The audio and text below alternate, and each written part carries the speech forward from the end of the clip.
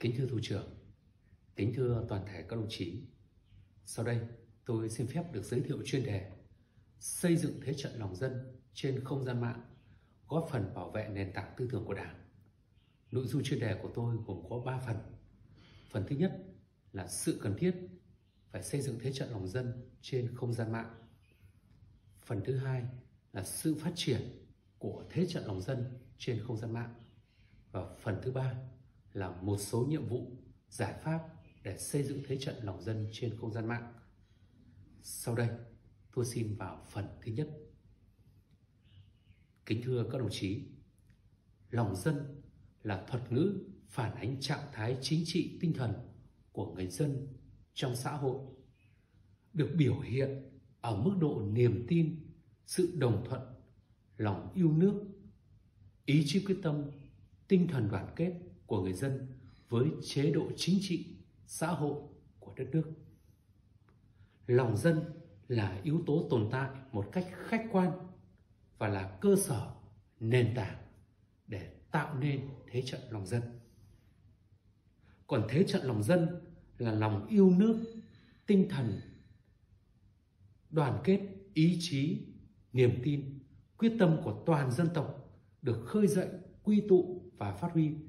tạo nền tảng chính trị tinh thần vững chắc cho phép huy động sức mạnh tổng hợp của toàn dân tộc nhằm thực hiện mục tiêu nhiệm vụ chính trị quân sự quốc phòng trong sự nghiệp xây dựng và bảo vệ tổ quốc Việt Nam xã hội chủ nghĩa. Còn không gian mạng là mạng lưới kết nối cơ sở hạ tầng công nghệ thông tin bao gồm mạng viễn thông, internet, mạng máy tính, hệ thống thông tin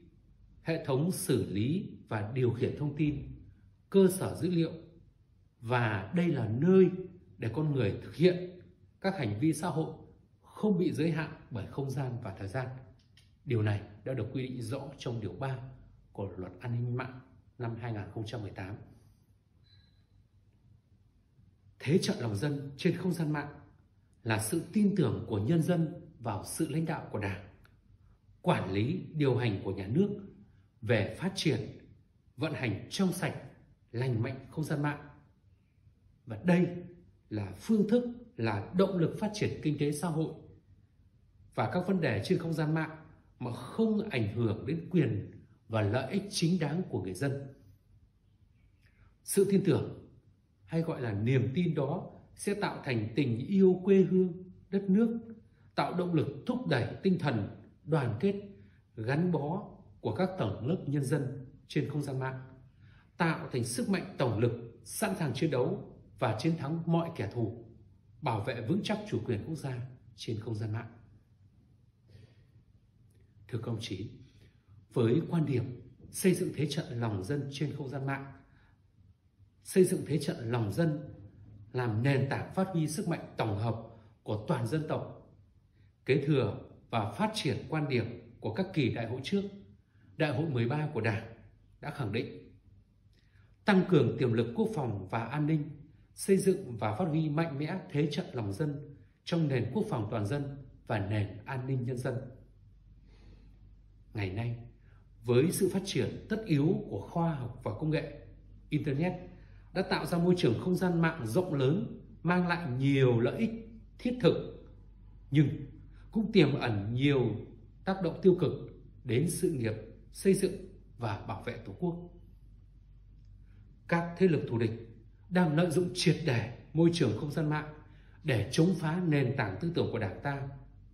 Do vậy, xây dựng thế trận lòng dân trên không gian mạng là một yêu cầu cấp thiết góp phần bảo vệ nền tảng tư tưởng của Đảng, đấu tranh phản bác các quan điểm sai trái, thù địch một cách hiệu quả trên một môi trường tác chiến mới, đó là trên không gian mạng, thưa các đồng chí.